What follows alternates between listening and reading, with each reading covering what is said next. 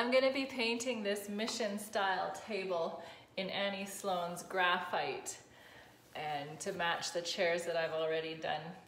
So you can come along and watch while I paint it. And so you're not too bored watching me paint, I'm gonna have you listen to my friend Laura Williams sing as I go through each stage of painting and finishing this table.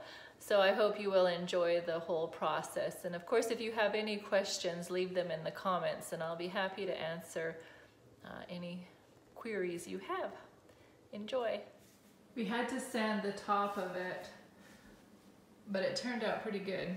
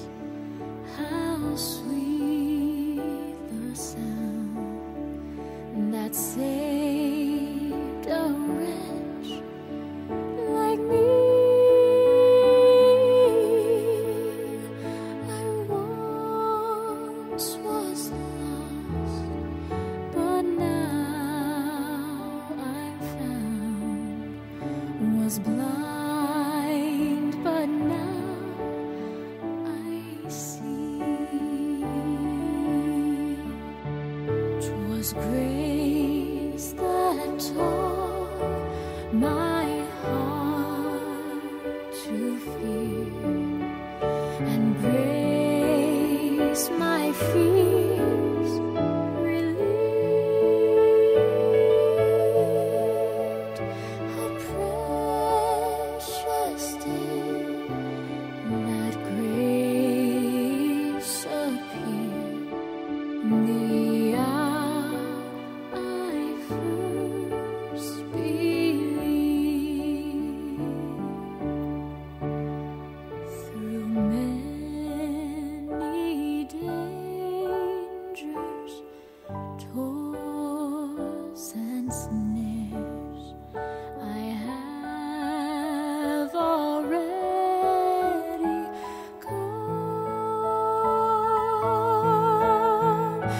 Was grace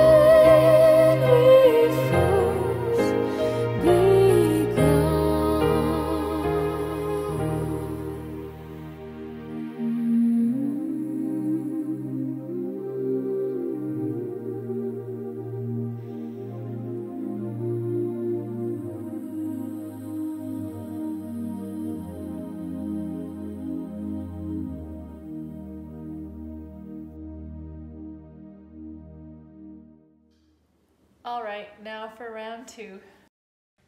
If you enjoyed my friend Laura Williams singing, I will leave a link in the description to her website. She has a few albums that I highly recommend. To be honest, this was one of my more least favorite projects that I have ever tackled, simply because it reminded me of painting chairs and I really do not enjoy painting chairs. Getting between all those spindles is such a pain, but I am pleased that I got her done, and I love the way it looks. I really enjoy working with Annie Sloan's chalk paint. Only two coats, and the table is nicely covered. I don't feel like I need to do any more. And it's so easy to apply too, and there's no clumps. It's just quite luxurious paint. To paint the table two coats and the chairs two coats took one quart of her paint. So that's pretty good, I think. The term mission style furniture belongs to the arts and crafts uh, movement, and the word mission refers to the Spanish missions throughout colonial California.